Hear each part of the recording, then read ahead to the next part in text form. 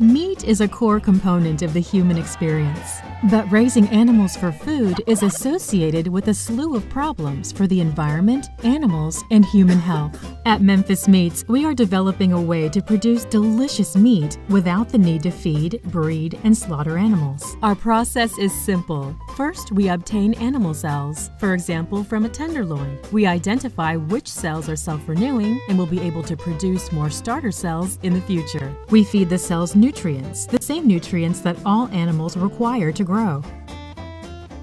This entire process will take place in a brewery. Similar to beer breweries, our facility will be open to public tours. Once the cells have grown, voila! Delicious protein-packed meat is ready to be cooked and eaten. Because we won't need to feed, breed, and slaughter animals, we can avoid many of the problems of conventional meat production.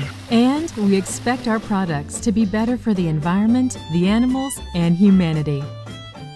Join our movement by following this link. Better meat, better world.